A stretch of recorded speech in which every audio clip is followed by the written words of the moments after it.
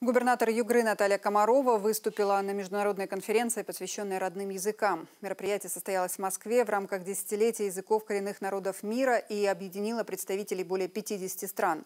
Ученые вместе с общественными деятелями и аборигенами обсуждают проблемы и способы сохранения многообразия наречий. Опытом сохранения языковых традиций на пленарном заседании делится Наталья Комарова. В Югре большое внимание уделяется созданию условий для их изучения. Благодаря сотрудничеству Обско-Угорского института с издательством просвещения в округе выпускают учебную литературу.